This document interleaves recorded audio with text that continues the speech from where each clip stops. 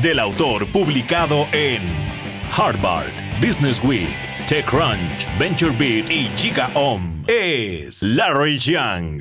CS23 Lecture 4, uh, CS23 VC. There's nothing more timely than a dollop of money or a dollop of networking, serendipitous contacts via networking. There's nothing more uh, serendipitous than getting the right piece of information at the right time. So creatively in the flow. These things are all made possible and or impossible uh, due to money pressure, due to the uh, inappropriately timed uh, bill that comes due. And not just a invoice type of bill or a debt type of bill, or I'm speaking specifically of a venture capital form of bill where there's a money pressure, there is a time pressure. So there's nothing more timely than than meeting the right people with with deal flow or VIP flow uh, or a dollop of money. That's what these signature business recipes are are to do. And in this specific lecture, we're going to go over the ins and outs of how people do it right and how people do it wrong, and some things that we can ourselves game and hack timing as far as these money incomes, these networking, uh, fortuitous meetings. And instead of asking a fortune teller or a tarot card reader, hey, you know, tell me my fortune. This will be a two-way interaction street to literally engineer our own serendipity. Sounds pretty interesting, right?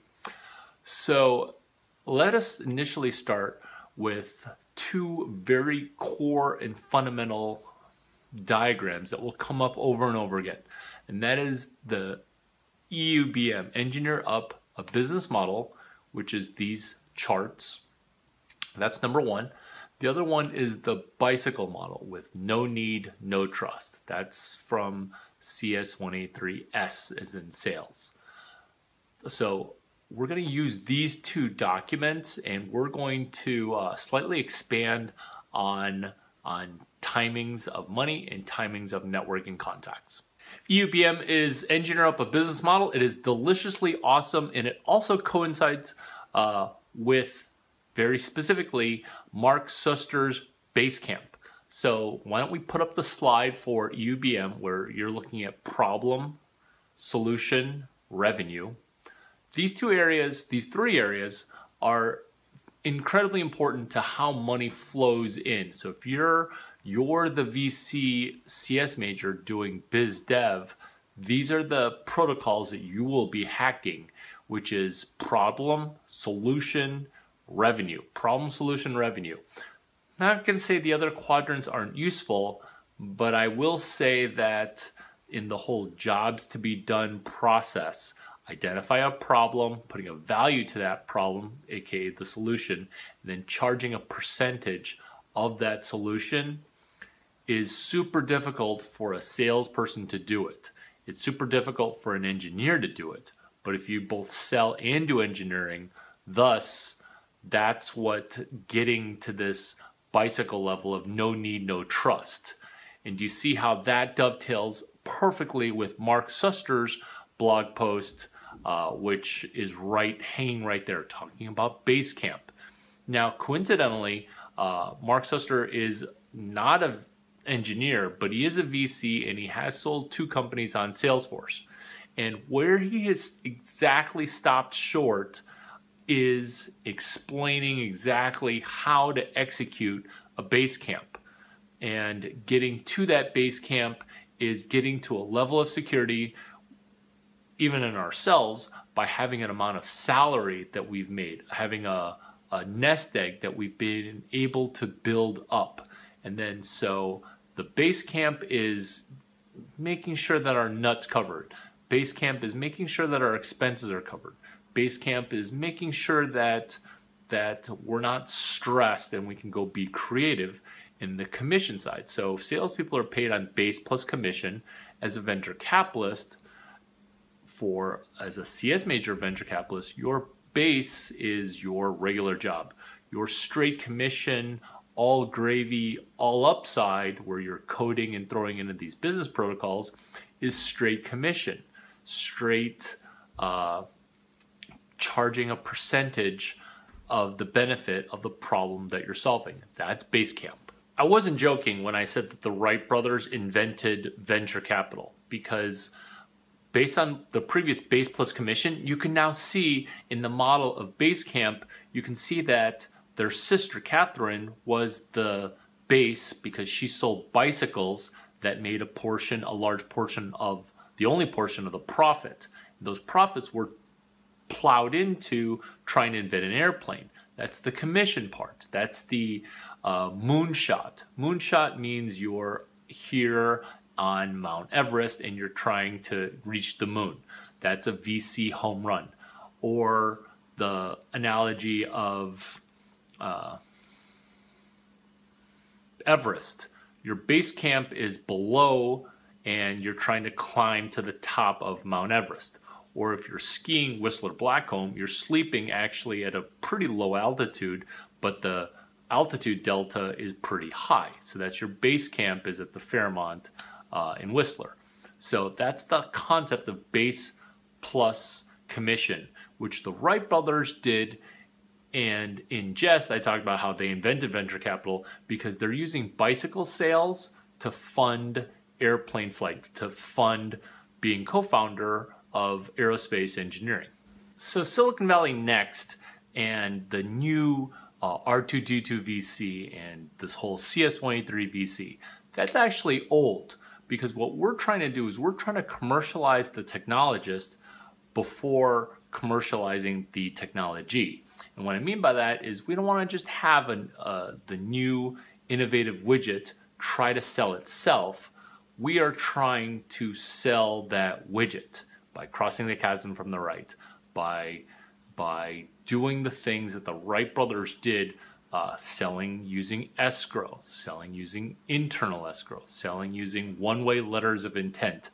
So these groupings are meant to keep us from getting to this next issue, which John Pierpont, John Pierpont Morgan, a la JP Morgan, how he co founded General Electric and then totally dicked over Nikolai Tesla. So JP Morgan started General Electric and the sweat equity from George Westinghouse and also Nikolai Tesla up in smoke, up in arms, uh, gone, poof, sweat equity gone.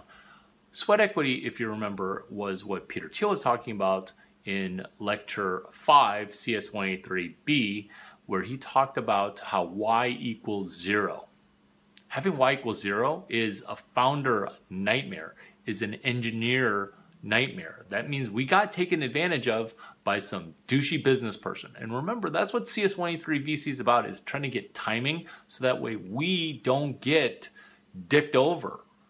We don't get screwed out of our equity. So that's what CS183 SE is meant to do is, oh, have you heard the cliche founder story of sob story where the founder gets fired and the VC gets to keep that money because they fire the founder and then they do a recap. This happens time and time again. Rich people, rich people, VCs, people of wealth, they've been screwing over engineers and people in general since the beginning of time.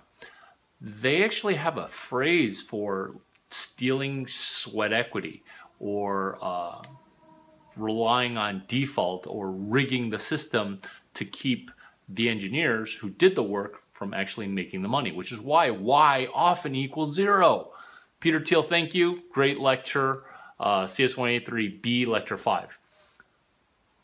Giving them enough rope to choke means that you will be given enough of a runway and enough hope where you're super motivated to work, but the system's rigged against you where you're probably going to default, you're probably not going to meet certain demands or certain uh, a certain uh, hoops, certain levels of performance, and you will be lost. You will actually lose out.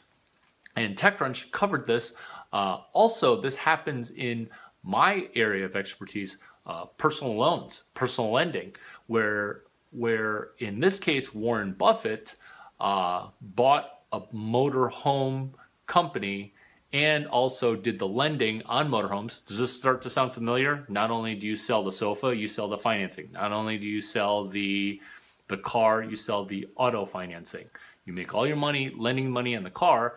Ditto with the trailer park. Ditto with the trailer homes, where you're lending money to people to borrow money on these trailer homes. That's called giving them enough rope to choke and we don't want to have that happen so that's what this video solves is is nothing is more welcome of a site and awesome of a thing than having a dollop of money or a dollop of great networking contacts or specific information. Venture capital, there's a thing called the power law curve.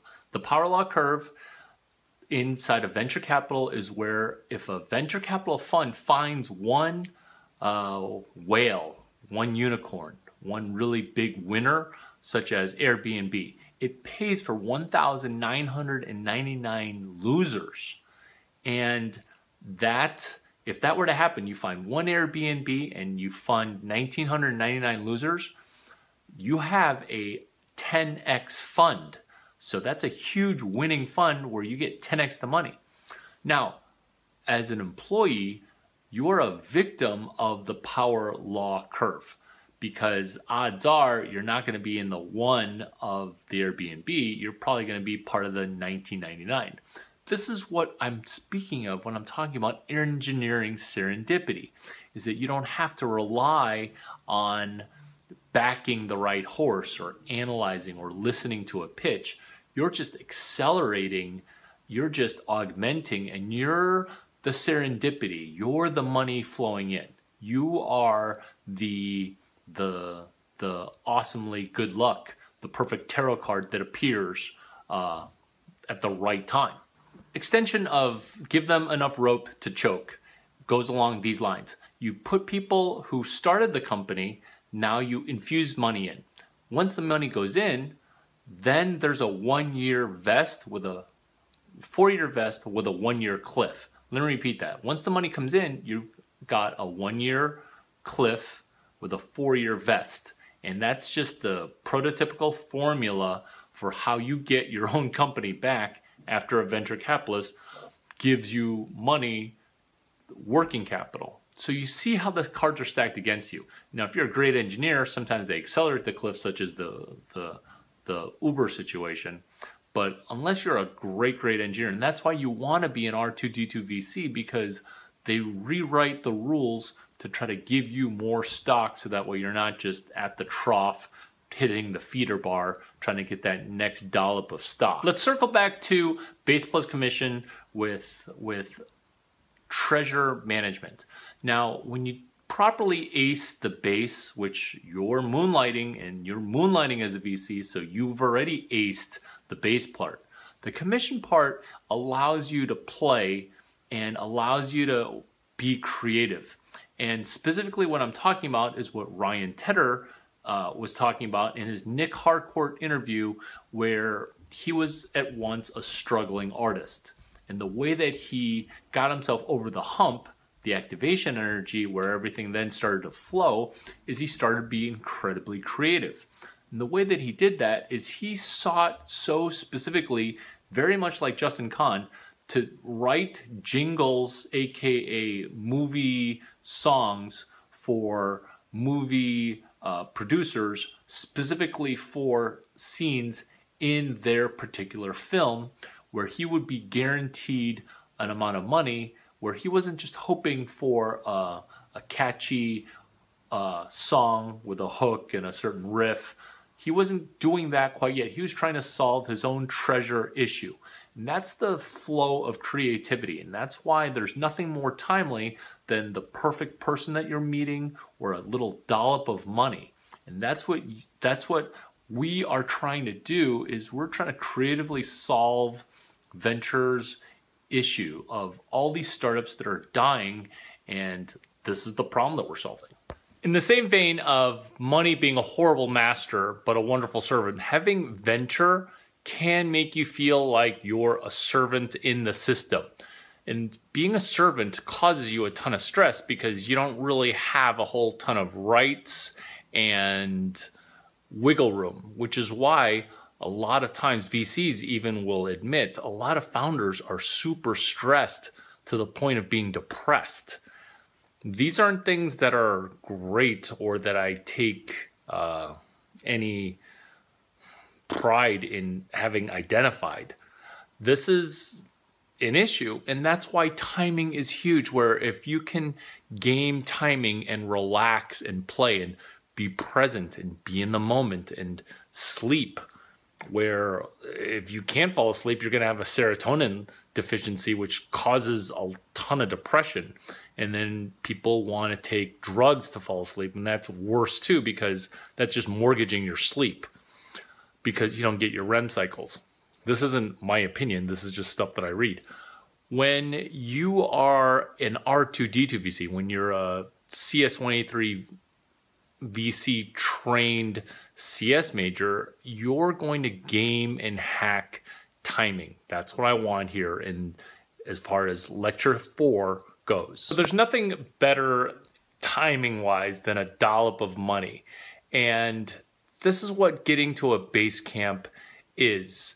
And this is what it means to edit, to go in and edit somebody else's uh, startup, where as a VC, you're doing a ton of business development. As a CS major VC, that's almost a self appointed, uh, self uh, selected, uh, self um, titled uh, community manager, you are taking it upon yourself to be entrepreneurial by going in and editing uh, someone else's work as an external API. And knowing what's in the environment and just being present and trying to engineer serendipity from from lecture 2 these things tend to to take form and take shape when you yourself are able to to be in the present, to be in the moment. And sometimes these people seem kind of dumb because it looks like they're just staring off into space. And look at Big Head. I mean, he's staring off into space so well that he got on the cover of Wired magazine and now he's guest lecturing at Stanford. And although I say it kind of jokingly, CS at Stanford, they love VCs. Look at how many VCs teach. So Nelson Bighetti, the character from Silicon Valley teaching, maybe not that much of a stretch.